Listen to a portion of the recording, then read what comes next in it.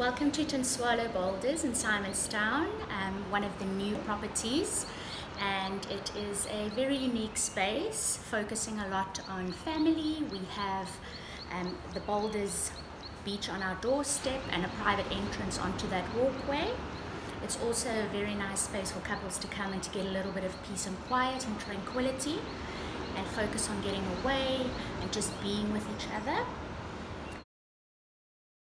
The very unique feature of this space is that it used to be two single properties and they brought them together.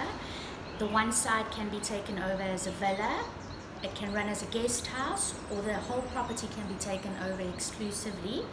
It's a very nice space for a family to come and go away and have a nice family get together. Um, the one side of the villa has a penguin room which is a beautiful little kiddies play area and it's a nice space for them to get away with.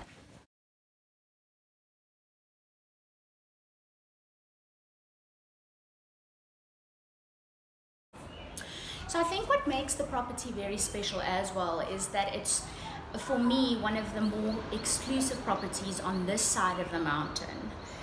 Hitting the city centre, you've got loads of options and variety there, but focusing on the Cape Point, Boulders Beach, Kalk Bay, this side of the mountain, it's a real struggle to get a, a, a real sort of feeling of exclusivity at a space. And for me, Boulders brings that to play.